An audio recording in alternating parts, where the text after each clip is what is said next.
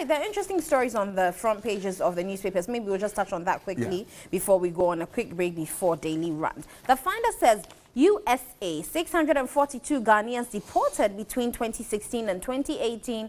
Also, government is to supply suitable fishing nets to fishermen to improve their trade. That's coming from the Minister of Fisheries and Aquaculture, Elizabeth Afoley Quaye. Also, Bank of Ghana says growth prospects of economy are strong. And then finally, the Austrian president says Ghana is our most important business destination in Africa as the president visits they them. Should come. They should come more, not, not, not talk only. They should come. They should come. Yeah, they should come and do more business.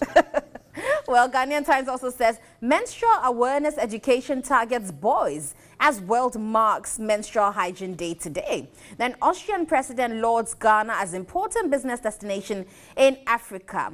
Then Nana Kobina Nketsia says, don't politicize national policies. There's a crime alert where cybersecurity attacks are on the increase. Five internet service providers suffer 50 attacks this year. That's coming from the police. Interesting stories there. Um, but that's that story, even the for cyber no, they they were, but it's a huge challenge for uh, rural folks. I mm. mean, anytime I visit uh, these rural uh, schools, I mean, you have these kids uh, tell you that they are they are unable to come to school, they are scared of going to school. Sometimes they wade through waters, particularly at this time, May, June, July, when uh, uh, there's a lot of rain mm. and uh, streams and rivers are, are, are, flooded. They, they had to wade through the rain without wearing a menstrual pad. Mm. And so the fear is that whatever is there uh, will be washed off when they do that. And so they, for a week or two, they, they will stay at home. Okay, so it's a huge, and I remember that some time ago, there was talk about a loan facility, portions of which mm. was to be mm. used to uh, buy menstrual pads for kids, right. which became a political debate mm -hmm. that um, the former administration was insulted that we are using loans to, to, to acquire pads for uh, uh, uh girls. I think that we need to talk about this.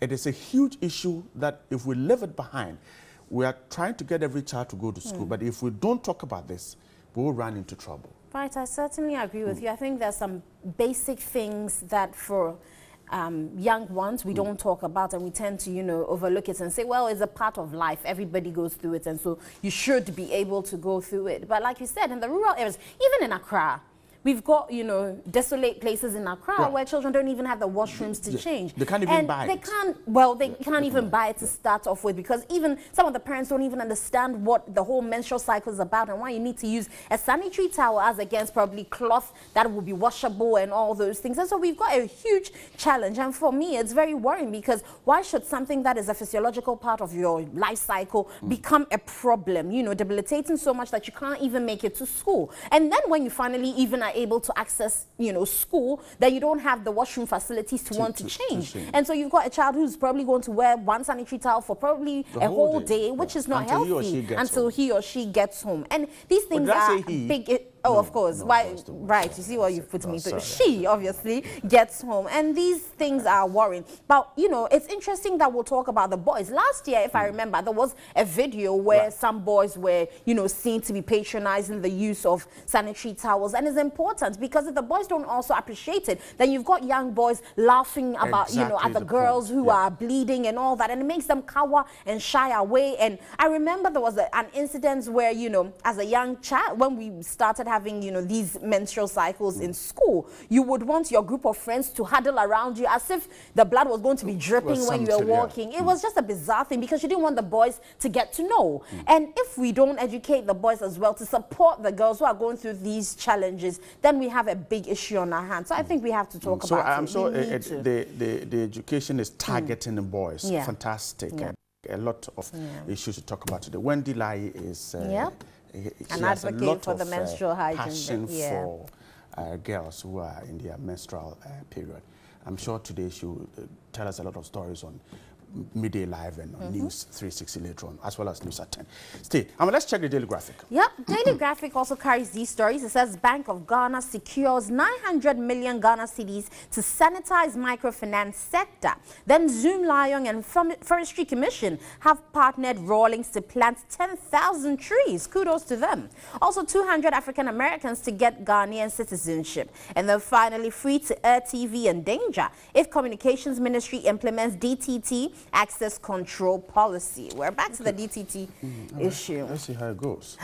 then Daily Guide, our final paper says non-performing loans are still high. That's coming from Bank of Ghana. Then FIFA clears Kwesi Nyantakyi. And then Ofosu Ampofo fights AG. Then Ghana ranked high in Austria. Mm. the, the, FIFA. Yeah, but, well, I, mean, I don't know, but uh, this FIFA thing, uh, well, a lot of, a lot of, I don't know, sometimes the way we consume news puts um, all of us into trouble because I, I, mean last night when I was trying to monitor what was happening mm. a lot of people who called into radio TV stations were angry and grinding their teeth at FIFA suggesting mm. that what they, they, saw in the video they saw Kwesi Nyantakyi and so why has FIFA cleared Kwesi Nyantakyi but that, that is not what FIFA has mm. done okay total misunderstanding of, of what FIFA has right. done but maybe our job is to let people know. And so if you monitor the, the, those who were calling into radio stations, right. we're, we're virtually castigating mm. the FIFA and government yeah. and everybody.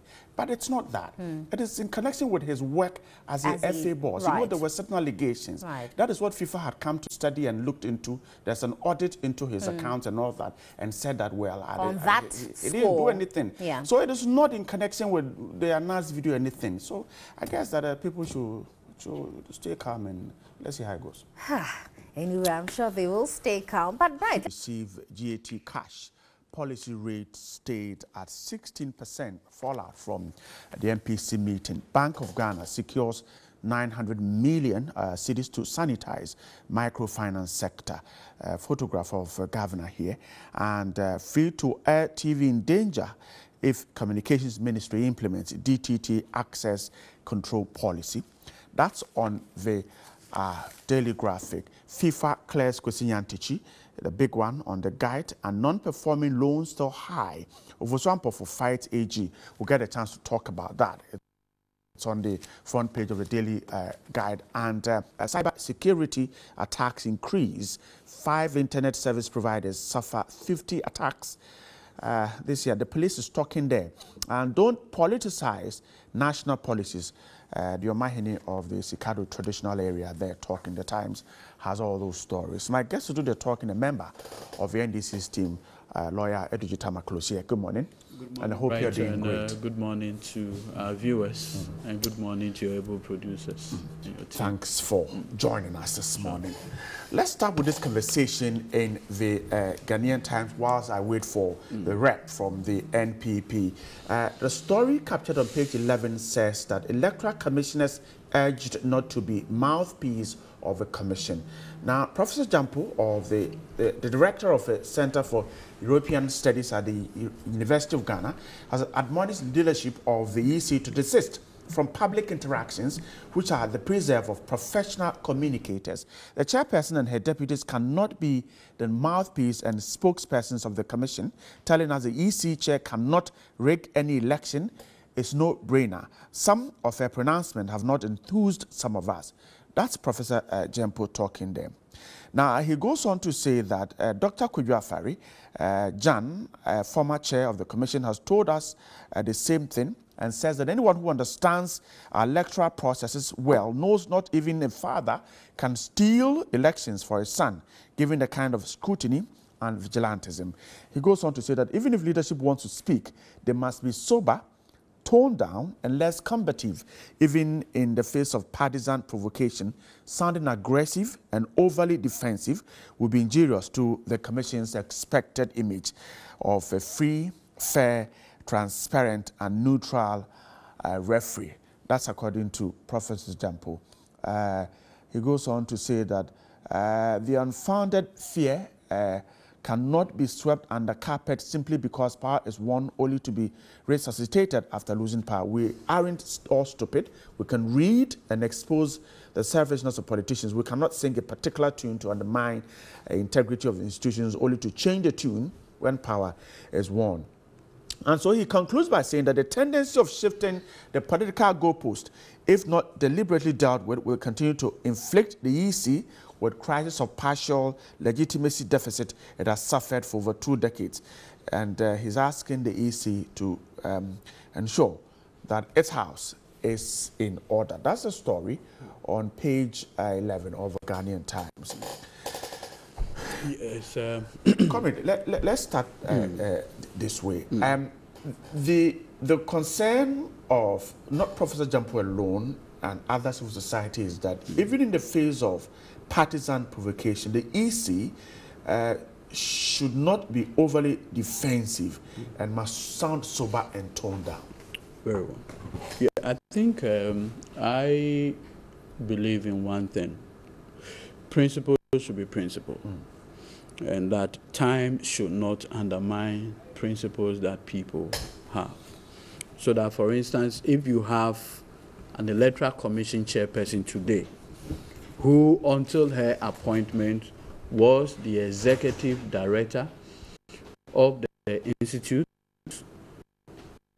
of Economic Affairs, IEA, and this is a governance think tank that has participated fully in the democratic experiment of this country. And in fact, the IEA existed before we started the 1992 democratic experiment. And the IEA has always played a very crucial role in the democratic process.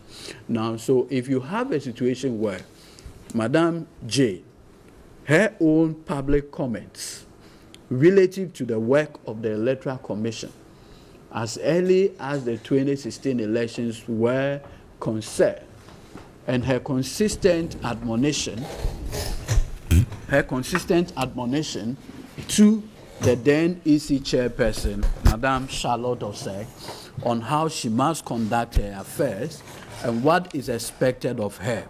One would believe that with the benefit of that position today, you should not run away from those very important views or principles that you have expressed your, you know, in the past.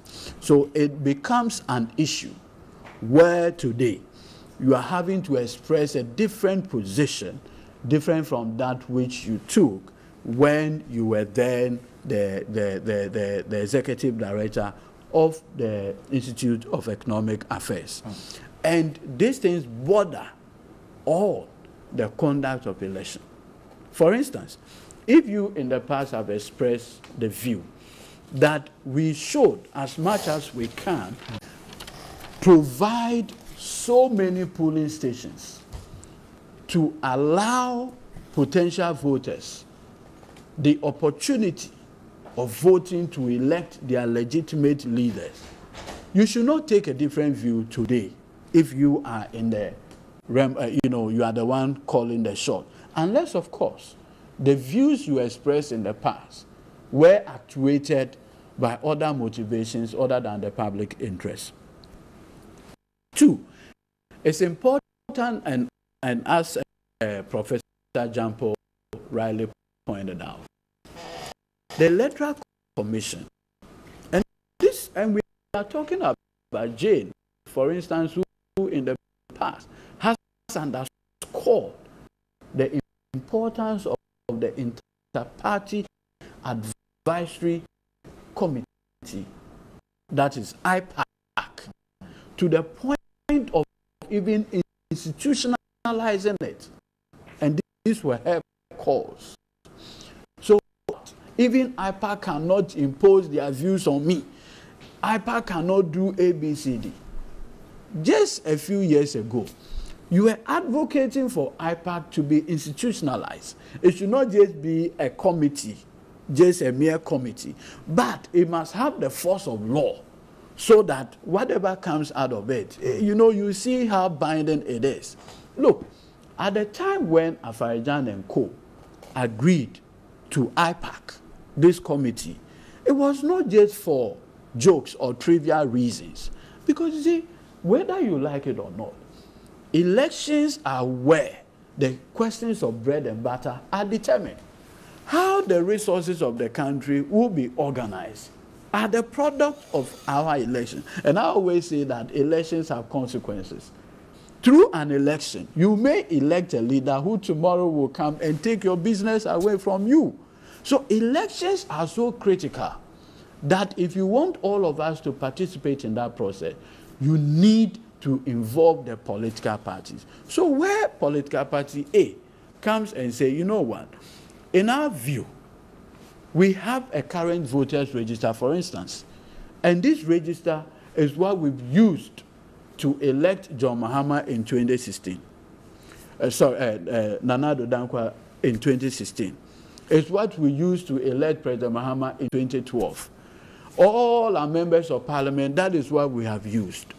And so this register is as solid as anything.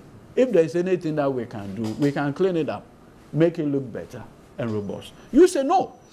In my view, let's discard the entire register and go for a new one because the current biometric technology, fingerprint technology, to your mind, is obsolete. We do know that there's no technology that is forever. Technologies need consistent upgrade. Even the, uh, the, the, the softwares on your phone, once a while, you upgrade it to make it look better. So if, to your mind, there's a need to enhance it with a facial recognition technology, mm. all the NDC in this case is saying that, look, facial recognition run against your 10 fingerprints. Facial recognition is nowhere near your fingerprint impression. Because we do know all over that two faces, identical twins, facial recognition technology cannot make them out. And that is why, if you recall, run down to the 2016 election, Dr. Mahamudu Bawumia did a press conference where he talked about the fact that using a facial recognition technology, they were able to see about 75,000 quote unquote double registrant on the voters register and he singled out the Volta region, if you recall. Then he was put to test, bring out the names and the faces. And by inspection, you know that there are two faces that will be identical. But even two persons from the same womb, identical twins, their fingerprint impression will never be the same. So the fingerprint impression is always superior. And then we make the point that, look, for all intent and purpose, when you go to register, your face or your picture is also taken. So already the software that we have now takes into account. And that is why the political parties, even in the making of the CI 91, incorporated in it the possibility of manual verification. Because when Kwadwo comes to sit in front of you and you have his original picture that was taken, you can see whether this is Kwadwo or this is Kwadwo's look-alike just by looking, just by looking at the photograph. So already the technology that we have has that incorporation. The NDC believes that this whole idea of doing a new register, as Madame Jane is trying to push toward, is a subtle attempt to voter suppress. Where, for instance, you look at a particular region where you believe that, look, this is the stronghold of, say, the opposition or the incumbent.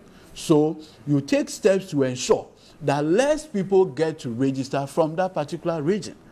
So why? We already have a register. That register had elected two presidents of this republic. Nothing had been shown. And in fact, the last time, Nana Addo Dankwa Akufo-Addo applauded Madam J for having done a successful referenda. What was used for that referenda? It was this okay, voters register. So all we are saying is that, look, Madam J, the posturing you have taken, where the impression, and you know, you have a situation where your deputy commissioner, uh, Dr. Bossman Asare, goes on air, says the NDC is a threat to the democratic, blah, blah, blah. The NDC, that birthed this democratic experiment, the NDC, the contribution of our party to the forward march of this country, you can never discount it. So all my uh, professor, and which I agree with him, is that, look, get a professional person to handle your PR. Charlotte Osei, I think at a point, realized this and brought one Dzakpasu. Mm. Yes. He's still there. Yes, but now he had been moved to the other regions, and Professor uh, uh Dr. Sari is now doing more or less his work. When you have a professional doing the talking, he is less antagonistic than you because you are likely to be emotional okay. when you are resolving okay. some of these without issues. More to, but let me welcome my second guest, mm. Honorable Seth Kwame Acheampong, MP for Mpraeso, a member of the NPP. Honorable, good morning. Good morning. Hope you're doing good. I'm blessed. Thanks for joining us. Uh, we, we, we, we're looking at a story on the Ghanaian Times, page 11, where Professor Acheampong of the, uh, the Center for European Studies at the University of Ghana is suggesting that um, the leadership of the Electoral Commission must look for a professional communicator to do the talking for them. Uh, he goes on to say that even if, if leadership want to speak, they must sound sober, toned down, and less combative, even in the face of partisan provocation. Now, he says that sounding aggressive and overly defensive will be injurious to the Commission's expected image as fair, free, transparent, and neutral referee. But on the other side, he says that some political parties tend to shift the goalpost, and they do this deliberately uh, in the fact that when they are in the position, they see all right, well, uh, all wrong with the EC when they are in power um, they see all right with the EC. What is your take on this?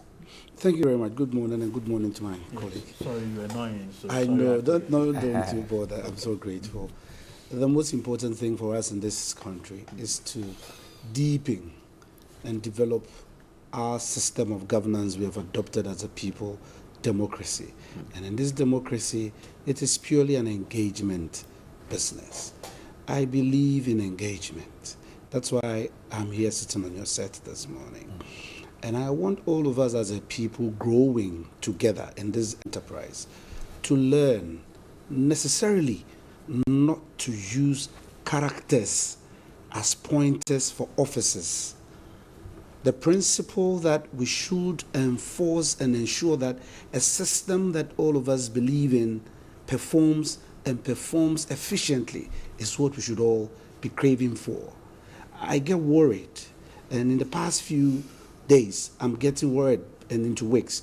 We are just, the narrative is just the persona of Jean Mensa and some colleagues of theirs. Unfortunately, some friends of us coming from academia also, let's speak in the way that will help encourage the actors who are in the saddle. I could be your colleague I could be somewhere tomorrow. When you try to help by way of advancing an opinion that you think should serve as a counsel to me, our choice of language and the way we put it out is also very, very important. I want all of us to understand that this country since 1992, when we held a referendum, decided that we would allow ourselves to be governed by rules and by the systems that we have adopted as a convention. We have done it within these past two decades and getting into a third decade. We've seen how the office, the or players who have come into the office, how they have done it. Let us for a second tell ourselves this is our beloved country and change the narrative. We are so easy to just run after personalities and leave the business away. We could have done that, and I was happy when my colleague left Jean and Co's name and was discussing the issues. He went to look at facial recognition technology, i.e., biometric fingerprint. fingerprint technology. This is the conversation we should hold as a country, which best fits our bill and drop the characters behind. When everybody finds us, the players and the actors in the center, engaging in what is before us today and what is best practice, as we all say. Best practices goes you learn from others who have advanced better than you have done. And when we are able to go this way, we change the system. That is the change we desire. That is the change we call for. And no change comes easy because it is human beings like myself who are going to sit to drive the change. So many a times, you will definitely see a name or a personality mentioned. But the counsel is this. We should not make the personalities the conversation. The conversation must be what change do we need? What change do we require? Has it been a conversation in this country that our voters register had issues and we needed to look at it and reform? Were we able to clean it thoroughly when we said we needed and wanted to clean it thoroughly? Do we have time to clean it fully? Must we go and engage in a new exercise of bringing a new register? This is the conversation. Leave the characters out. This is us. It's our democracy. It's governance for the people by the people. And it is us. So I worry when those of us who have opportunity to lead and get the following to follow us, change the narrative and set the discourse on personality banter. And in the last few weeks and days, that has been the character. And it has been so, and it is becoming that that is the norm. This is my worry as a politician and as a player in this enterprise. That game must change and must stop. So you won't leave out politicians belonging to both sides as, as engaging in this game you're talking about? When you mentioned Professor Gyampo, mm. he said when, that is where I went to for people in academia. Mm. Give us a narrative that serves the interest. You see, when we go into history, and in, in recent history, and you listen to all of us, our narratives, we get away with it. And my concern is that let us do the right things. I, sometimes I worry because I'm going to mention a name here. The General Secretary of the NDC is a very seasoned and experienced current politics of this nation, a character of it. So many a times over the years, the experience he has gained, I expect him to change the discourse because we learn as we mature. When I first entered Parliament, I did not speak like this. I sit here today and I speak because I am aging in the enterprise. and I've realized that I have sat on the left hand side of the speaker for two terms. I am sitting on the right hand side of the speaker for this term, and I see the difference. It must affect my behavior and my conduct. And that is the way we can develop this country. So when you have people using the same strategy, the same skill they had, I remember in 2008 when he had just been elected into office as a general secretary, carrying papers, flying them before the cameras, that the then government wanted to steal the election and had bloated the register. When we had opportunity and you had it for two terms, and I'm happy his party has blessed him with a lot of knowledge and it's time to express himself. I hate discussing people, hmm. but in times you draw instances to learn from. Let us all learn over the period of the things we have gained. Let us change it. Other than that, we have disappointed the entirety of this station. Why the politicians change eh, the narrative? Those, the referees, and I, the, and I want to, let's say it is a commission, not the chairperson, the referees, what should be their, their behavior? The referee's behavior is like you and I sitting here today. Mm. They are human. They voluntarily reason and will do anything. That is why he talked about us.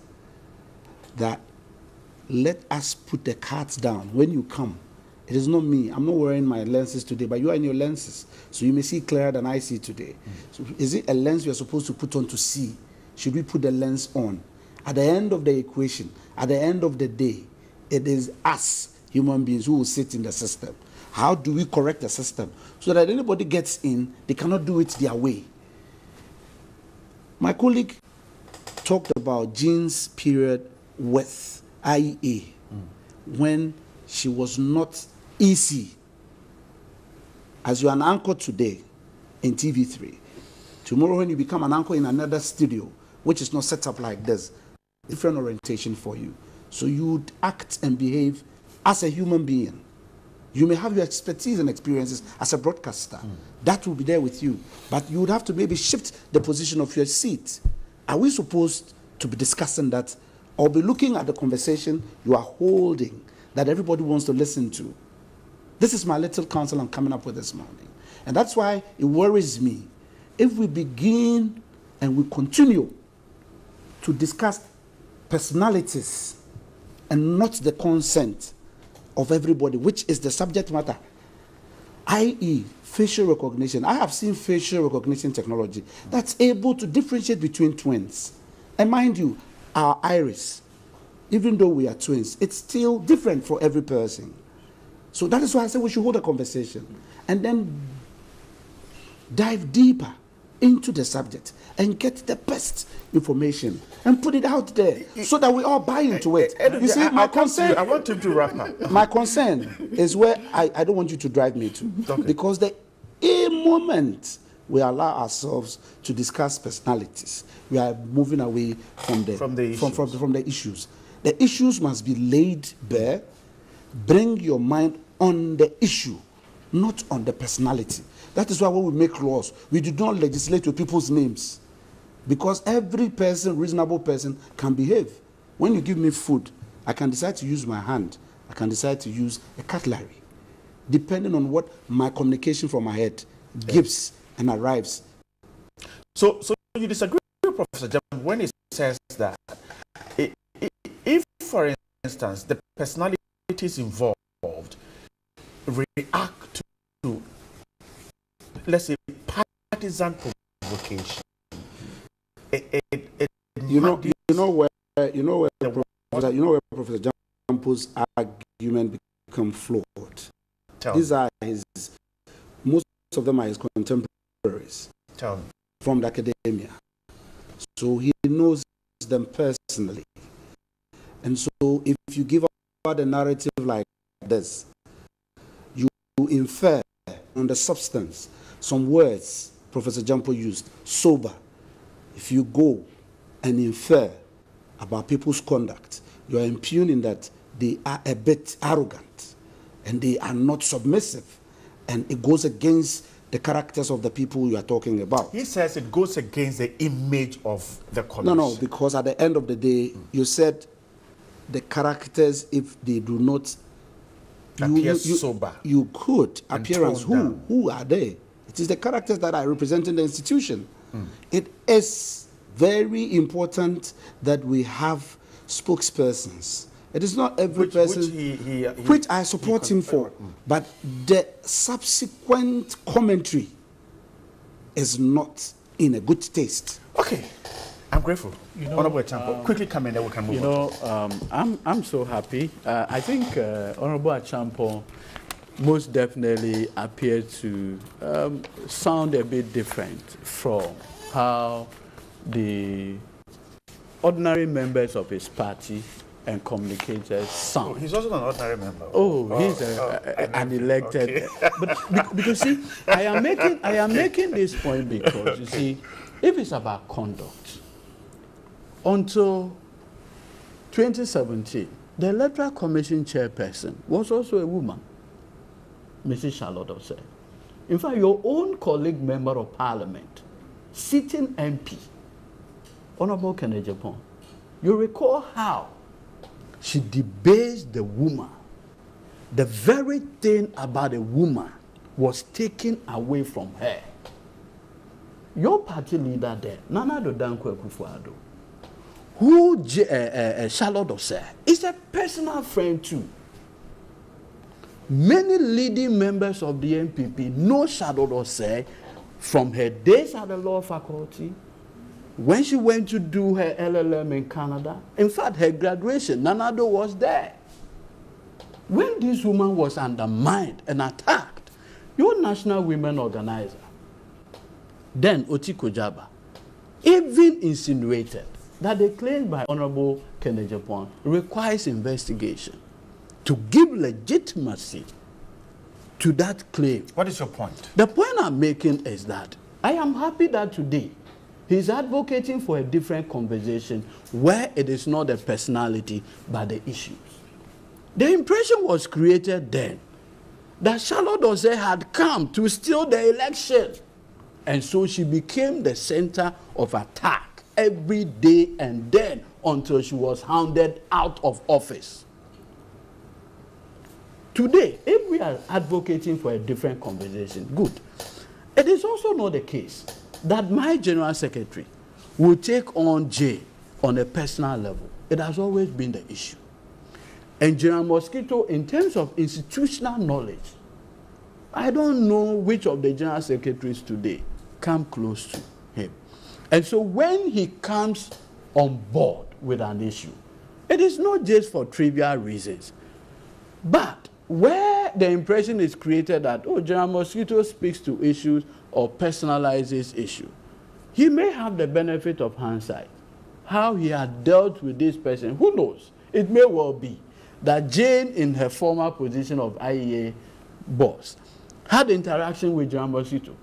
And so if today he sees this uh, woman doing something contrary to the position advanced by her in the past, he should be worried.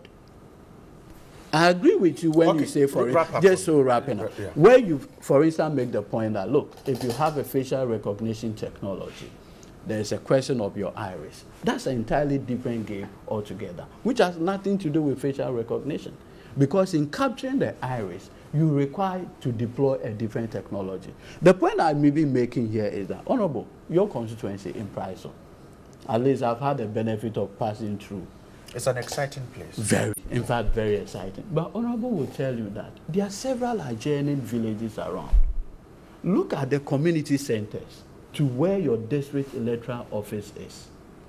If you're having to deploy those people from those villages to come to the district office, for the purpose of participating in the electoral process. I know, Honorable, your constituency chairman will call you and say, Honorable, we need to get more of the 18 or to be on the register.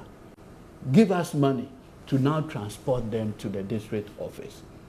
Why should the states, in making the right to vote, make it so cumbersome that people's interest in this participatory democracy will be undermined. Okay, so, so when so, the general so secretary, you're talking about exactly, the same thing, yes, exactly. So when it. the general okay. secretary makes this point, it cannot be personal. Okay, I'm grateful. Otherwise, Acheampong, let's let me let's move on to this one. Uh, the Bank of Ghana says the growth prospects of the economy is very strong are very strong. Dr. Addison uh, said that uh, uh, all the major indicators are pointing in the right direction. Uh, he talks about a flourishing private sector, inflation well anchored, and foreign reserves reliable. The Bank of Ghana remains confident the economy is in good health. Um, uh, he goes on to say that uh, the robust pace of economic activity is supported by improved sentiments from businesses following the recovery of the local currency from its sharp depreciation and favorable growth prospects uh, that we saw. Early indications already show that the economic activity in the first quarter is picking up, and we are likely to see a lot more uh, economic buoyancy. That's Dr. Addison talking there. Now, let's let's see the, the indicators are right. They, they are pointing in the right direction. The concern is that between the indicators and the day-to-day -day life of the people, there seems to be a gulf. How do we bridge it? Thank you very much. Before I discuss the bread and butter issues, you want to a quick I just want to have okay, a quick okay, okay, quick, quick. You see, I, I, I, I'm trying and I'm doing my best. Okay. I may be a crusader. Mm. Uh, I want us to move on, but I just want to cite an example. Mm. A good communicator from the staple of the National Democratic Congress, who have had the benefit of being in the executive and enjoying the legislature, my younger brother, Mutala Muhammad. I watched him yesterday on a different set.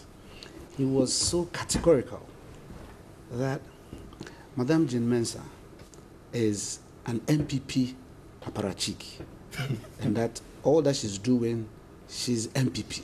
Did he, did he prove it? The host, like your good self, mm. said, Can you give me basis? But the host was said, Have you seen her party card before? Mm. He was quick and a smart communicator and a politician would tell you, I don't even have a party card. Okay, so he, he got away with that. But if I were in the saddle, I would, I would find a way to get him to give me strict proof. so this is it. it, it, worries when we take positions that moves us away mm. from the center. That's why, and I'm happy, like he said, when you discuss the iris, because the human body, the entire anatomy, mm. have different features. If we want to go molding and employ technology, let us look for the best one that helps of us. And let's advance that. But when you drop names, and you see, General Asiedu Nketia is a very experienced politician, a very smart communicator. And when it comes to using language and, and playing around it, he can catch you in a corner.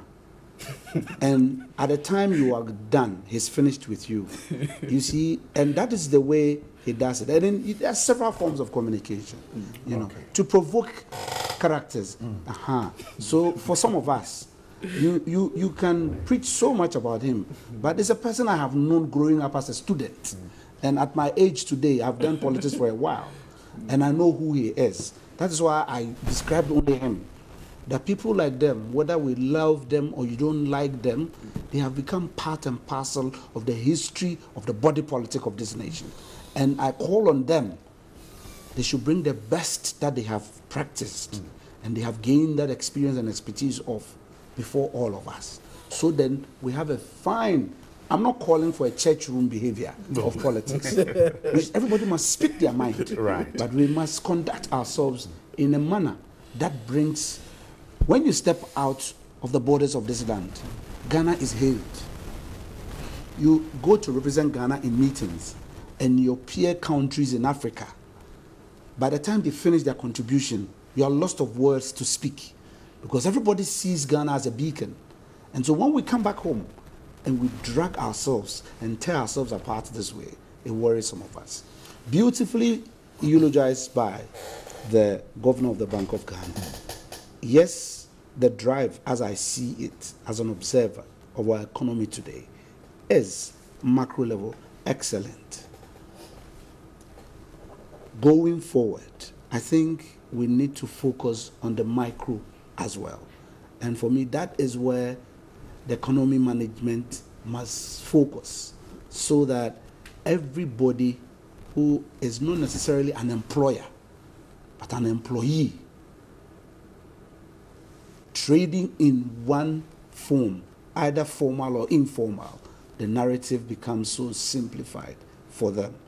For every economic major player who is within the corporate world, looking at the policies and the directions we are moving as a country, sees hope and sees a brighter future.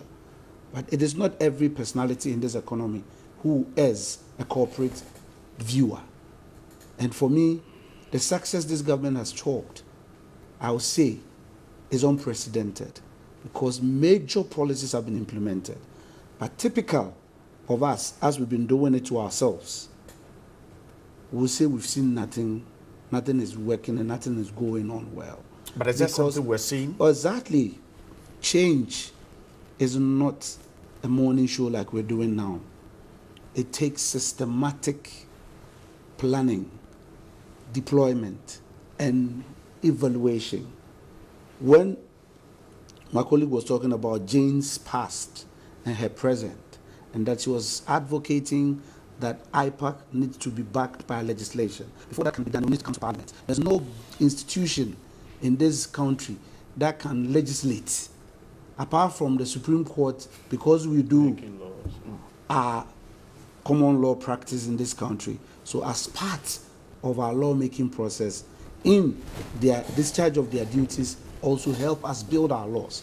But for statutory, you cannot go through any other way but through the Parliament of Ghana.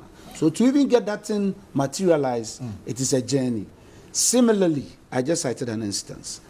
Our growth as a people, the systems you have put in place, I know, and I'm, I'm speaking as a politician, when we did the banking reforms, excellent, but it has affected a lot of people in the chain. And they are the people we should look to and see how. That's when I talked about the micro we should look to today. If we had not done that, there would have been a major backlash because most businesses that is when the micro would have failed totally.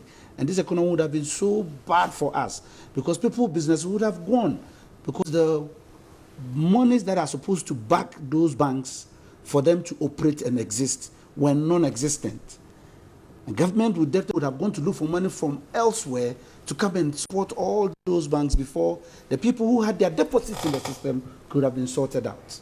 Now, when you are met with this position of a hot pan and a rock, the decisions you take is where people realize that indeed you have a foresight and you want to drive it somewhere. These reforms is stabilizing. Once it is fully stabilized and the policies the government is advocating and implementing, which will draw all, it's going to be a ripple effect. It will draw all these people who are affected into different areas of operation and they will function differently. You may not be a banker like you used to be, but we, you have all, we all have professions before we joined whatever trade we are in today. You will find your level definitely in the industry I and see. in the economy. Is this achievable in one and a half years? Uh, this government's uh, lifespan is four years. We are in the middle of the third year. But, yeah, is this achievable? That kind of the rippling effect you're talking about between now and December. Is it achievable? We Can say, we see that's the, what we say That's why we say governance is a continuum. Okay. There were policies that were implemented in the previous administration. Mm that you cannot do anything about this government is running with. It is now that this government is putting before its system that we must follow, its medium term. When it took over in 2017, whether the system liked it or not, they had to pursue the implementations that President Mahama and his administration had done. So that is why me, I keep advocating that let's be speaking about the issues. Other than that, we politicians, we always give a different impression to the following because they really do not appreciate the systems. When you inherit, you can do some, but it is very minute skill. By the time you travel and you begin to see, that's why I said this government has done monumental changes when it comes to policy, bringing commodity exchange. There are several things before you even disseminate the information, before you get people to appreciate and understand all these things and buy into. Look, the free senior high school policy is the one everybody knows, which for me it is very courageous and a bold step. It is not easy. If you're a president and granted as the chief executive of your, for this is an instance, your accountant brings you your balance sheet and you look at it and he tells you that the only thing that can get this company to survive is to tighten people's salaries a little bit and then make sure you give them free lunch so that they, they come to work in the morning, they close in the evening. If you give them lunch in the afternoon and they get satisfied, when they start work, by the time they get hungry, there is food for them. In the evening, they go home. If they don't get anything to eat in their home, you close your ears for a while before you come back to give them dinner. You understand me? Right. It, you take, it takes a courageous personality to advance such a policy because you realize that if you want to do that, you will struggle. But we took that decision. It's not that alone. Okay. And beyond that, for instance, I always say, unless you haven't done so before, this is a lawyer. Mm. He will tell you our courts is a marathon. Nobody goes to court and comes out tomorrow. it will take you a while. That is how life is. That is the reality of society. Factories, procurements, it will not be done in a day. But because of the opportunity of media pluralism, and the plethora of networks all over. When we are offered opportunity, you said you build schools. Where are the schools? I say it and I get away with it. And another person listening takes it away and flies with it. And it keeps on, becomes cyclical. Me, I say, let's look at the substance. Let's look at the issues. And we can do it well. You people are helping us. Look, great. There are some few networks I watch. You do a lot of developmental conversations. Mm. And I want to tell you, this is sharp. Because these are the matters we need to be discussing. Great. Not that somebody went and pee in a corner and that why must he pee in a corner. okay, Lawyer Duji, so that's it. The, the, economy, Bank of Ghana said we are, we're on track. Um, at least as a Bank of Ghana governor, I will not fault him if he comes out. I'm not expecting any anything different in terms of the conversation from him. I would uh, be surprised for the governor to come and say the economy is not on strong footing. What is curious is that his own reports consistently that he's churning out business confidence and all of those things. He should go back and look at his own report. What was the nature of business confidence in 2017 compared to 2018 and where we are going? His own figures appears to be going on one direction. His conversation is going on one direction. Look, I have always maintained, and because at least for my first degree, I had to do economics. And so for second year, there is a course, Economy of Ghana. Hmm. They will take you back to Guggisberg time, and then the conversation moves to the very last time when I was doing it. I don't know whether the narratives have changed. And you realize that the nature, the fundamental nature of the economy makes this economy one quote unquote online support. If today, for no reason, commodity prices begin to fall, whether you like it or not, and you, for instance, the Honorable MP here, has the benefit. You recall when Seth Terkper came to Parliament and did a very beautiful budget, peg crude oil prices at $90 per barrel. Within that year, crude oil prices fall to almost $40. So we were losing $50 on each barrel. It has nothing to do with his economic outlook or policy. And that alone is going to have an effect on the economy. By that time, our brothers consider that to be the mark of what? Incompetence. Two, we have had a situation where in the past, and they were led by very seasoned economists. And for me, that is the problem. Where, for instance, the Statistical Service comes out to say, for close to 30 months, we've maintained a single digit inflation. Then Dr. Mahmoud Bawumia, in order to undermine the work of the Statistical Service, goes to Mallam Atta Market and now begins to do a new computation of our inflation figures. He goes to us, what is the price of cement? What is the price of this? Just to show that unlike the, the, the single digit inflation that the statistical service is putting out, what the market reality is showing is that there's what upward review.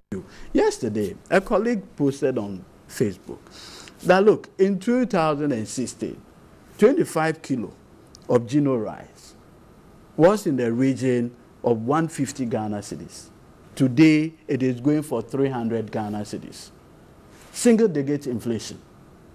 So, like the Dr. Mahmoud Bawumia formulation, the figures may be showing single digits, but when you go to the market, it's a different permutation. My honorable MP, and the way his constituency is, you know, you have taxi drivers who do a lot of this work. Have conversation with them.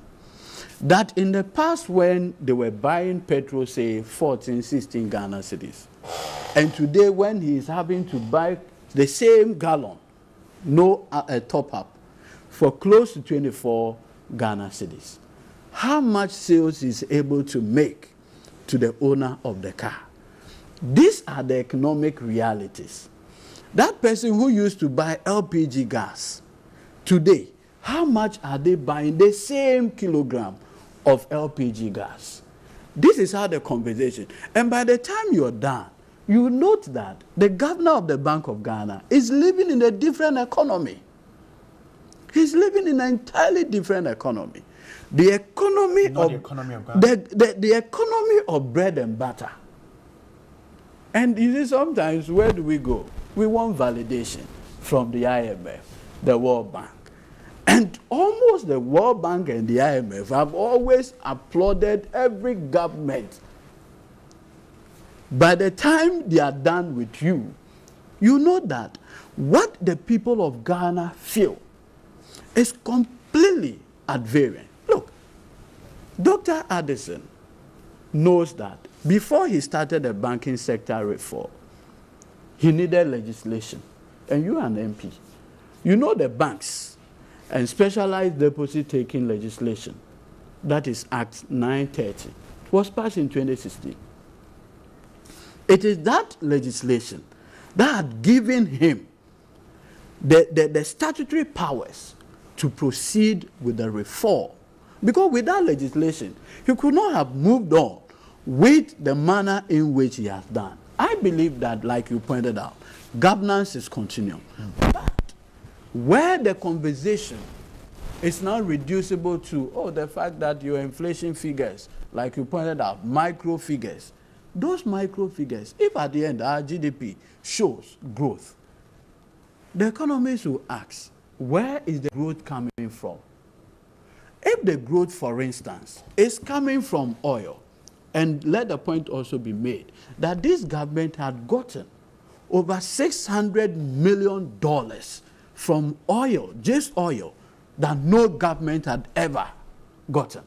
And therefore, it is definitely going to shape how your economy and its outlook. But at the end of the day, if your non-oil growth is not showing significant growth, but your oil growth is where the actual growth is coming from, then what it means is that the Ghanaian, quote Ghanaian, contribution to the economic growth may actually be on the downward instead of upward trajectory. Because at the end of the day, you are asking manufacturers, how much more are they working? Because they are actual drivers of the economy. As for the big oil players, whatever they make, they take it out to their countries, which is slightly different from our conversation. So I strongly believe that notwithstanding the fact that the narrative shows, like the governor is saying, oh, they indicated blah, blah, blah, the actual economy of Ghana is in a reverse gear. Regrettably. Honorable Acheampong, 10 seconds. Thank you very much. I, I, I'm happy they ended so. That is a good way to communicate for us. But then, the, the, facts are simple. Um, numbers as churned out by the Bank of Ghana mm. are no different than the reality. Look at it, they are, they are verifiable authorities. He cited an instance. I don't know what that, that is an authority of measuring inflation in the country. So, I mean, it's like going but, to but, market. But, but, but that, that, is, that is what it is. And for me, we've, we've been practicing this economy over a period. Mm. And if we're going to go into history, like he talked about mm. we haven't changed the structure of this economy since we inherited it from mm. Day. And we are now trying to make a paradigm shift. It's not going to be easy. That's why we find ourselves in the conversations that we are holding. And to be able to achieve that, it is a very, for instance, the highest growth we've attained in this country was in 2011.